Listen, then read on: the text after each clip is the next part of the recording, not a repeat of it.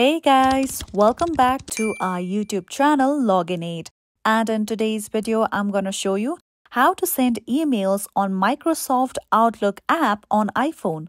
So now without any further ado, let's begin with the steps. So first of all, launch Microsoft Outlook app on your phone. Now once you are here, make sure that you are signed in to your email account. Now just at the bottom right corner, you'll see the option of New Mail. Now simply tap on that option.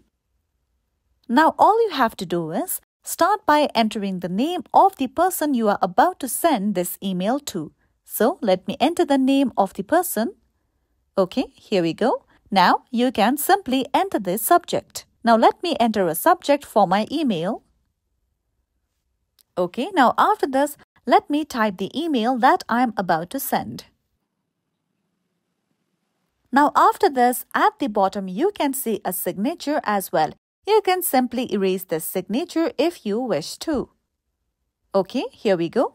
Now at the bottom, you can see other various options as well. You can also attach certain files and documents, images, and also enter text. Now after this, simply tap on the arrow button at the bottom right corner. Now you can see that your mail has been sent. In order to confirm this, just tap on the circle icon just beside inbox at the top left corner of your screen. Now over here, simply tap on send. Now once you are here, simply tap on the mail that is on top that you had recently sent. Here we go. Now this confirms that your mail has been successfully been sent.